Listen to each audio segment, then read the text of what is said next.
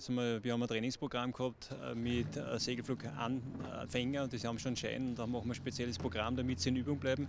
Und bin gerade mit einem jungen 16-jährigen Segelflugpiloten zur Halle gefahren und in dem Moment dann für sich sehe ich den Start, dass der eigentlich aus den Rudern läuft und eigentlich nicht normal abläuft. Und bin sofort gewechselt, weil er hat eigentlich keinen Autoführerschein, darf nur bei uns am Flugplatz fahren, sofort ins Auto eingestiegen und ich habe gesehen, wie die Maschine abschmiert, also über die rechte Fläche sie hat einen Strömungsabriss gehabt und ist dann äh, über die rechte Fläche in die Donau äh, aufgeschlagen. Ja, die, die, Rettungskette hat sofort super funktioniert. Es gibt einen Betriebsleiter, der ist verantwortlich für den Betrieb. Es ist sofort äh, Rettung, Feuerwehr, Polizei verständigt worden.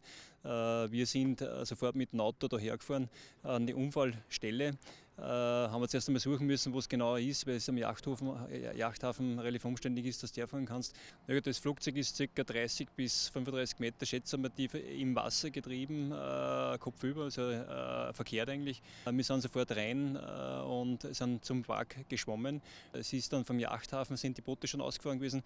Die haben uns dann Gott sei Dank geholfen, sind auch Leute reingesprungen ins Wasser. Die Rettung war dann, dass äh, junge Burschen von uns von sich ein Seil aufgetrieben haben, auch von einem Boot. Und mit dem Seil haben wir dann eine Menschenkette gebildet und haben das Wrack eigentlich dann ans Ufer ziehen können. Pilot äh, haben wir dann aus dem Cockpit raus, äh, rücklinks und haben sofort äh, Erste Hilfe begonnen und die Reanimation.